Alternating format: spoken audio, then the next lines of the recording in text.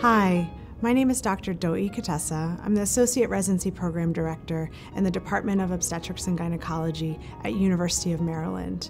I think I have somewhat of a unique perspective having done all my medical training here at University of Maryland. It is my experience during medical school and residency training that has caused me to want to stay here at University of Maryland to continue my training and teaching, as well as shaped how I, who I am as a physician.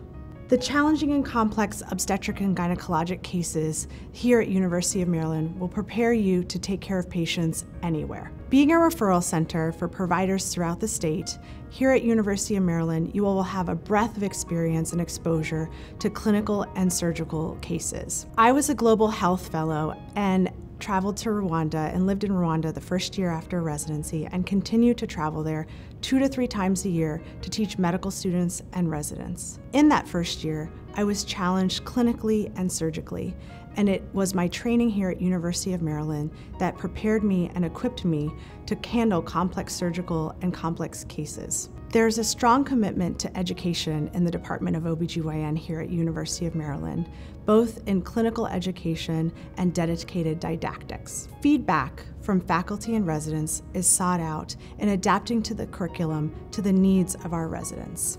Lastly, we are committed to providing care to the women of Baltimore City and the state of Maryland.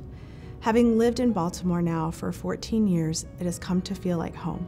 Baltimore is a unique and special city but it also has a complicated history when it comes to race and structural racism, and more specifically with regard, with regard to the health and care of black women. University of Maryland has a long-standing history and presence within the city, and a commitment to providing care to the patients. And we are committed to working towards continuing to build a trusting relationship with our patients and their families, which in turn will lead to improved healthcare outcomes for our patients.